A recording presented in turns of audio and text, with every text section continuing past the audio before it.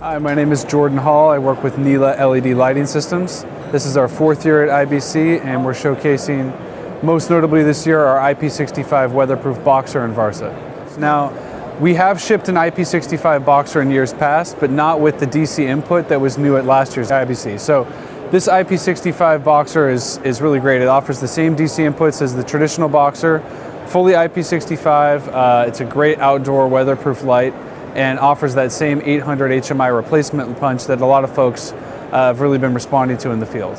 The Varsa remains one of our most popular fixtures and uh, we're very excited to begin shipping it in IP65 version as well this fall.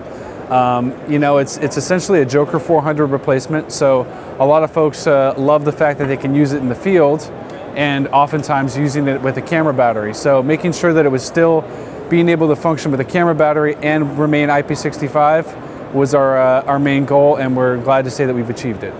One of the most exciting products to our lineup, which was new at IBC last year, is the Zaila.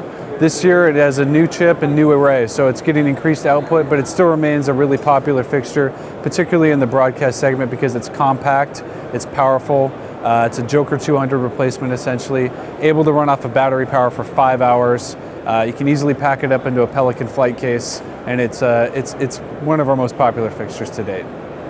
Apart from the IP65 developments, our full lineup this year has uh, brand new upgrades to the chips and LED arrays. So you're going to see about 15% increased light output as years passed and also increased color consistency. For more information about NILA, your best resource will be our website, nila.tv.